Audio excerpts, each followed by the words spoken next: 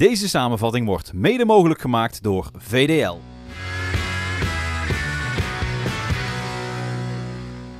Afgelopen vrijdag speelde FC Eindhoven de laatste thuiswedstrijd van 2016. Tegenstander was in de eigen indoor sporthal Eindhoven het knooppunt. De Amsterdammers kennen dit seizoen nog een ongeslagen status en bezetten de tweede plaats. FC Eindhoven moet het doen met de plaats daaronder, de derde plaats.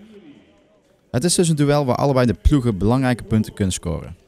De wedstrijd begint fel van beide kanten. De bezoekers krijgen de eerste kansen. Hier een mooie actie van Aziz Hitou, maar zijn schot gaat over. FC Eindhoven heeft moeite met de defensie van het knooppunt en na 13 minuten komen de bezoekers dan ook op voorsprong. De rebound van het schot van Jeroen de Groot wordt door Jamal El Ghanouti binnengekopt. Jordani Martinez zorgt bijna voor de gelijkmaker met een direct schot vanuit de corner, maar de paal staat in de weg. De knooppunt dendert door en ongeveer een minuut na de openingstreffer verdubbelt Jeroen de Groot de score. Nu is het Jamal El Ghanouti die de aanvoerder assisteert, waardoor hij gemakkelijk binnen kan tikken. Beide ploegen speelden goed. Er werden veel acties gemaakt die leidden tot mooie kansen.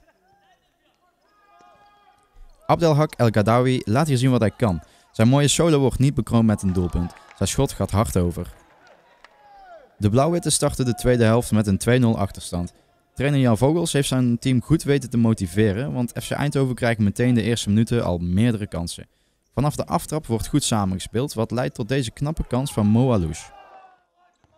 De steekpaas van Mo El Fassi wordt knap onderschept. El Gadawi komt vervolgens vast te zitten met Hitou en samen komen ze te val.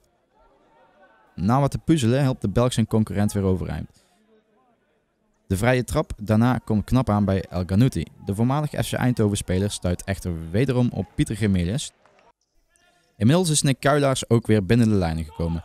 Kuilaars keerde onlangs terug bij de ploeg en ook deze wedstrijd toonde hij weer zijn waarde.